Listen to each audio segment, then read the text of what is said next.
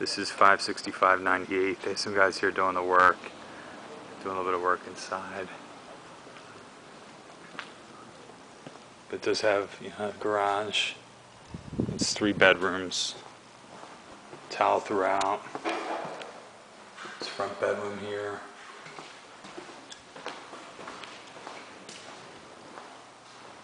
Bedroom two. His bathroom's getting some work.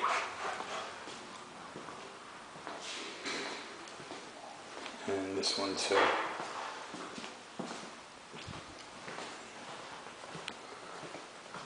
See, they're putting in all new cabinets in the kitchen.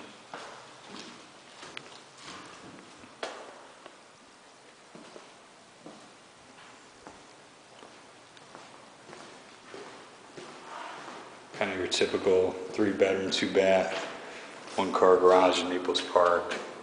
This is about 1,500 square feet.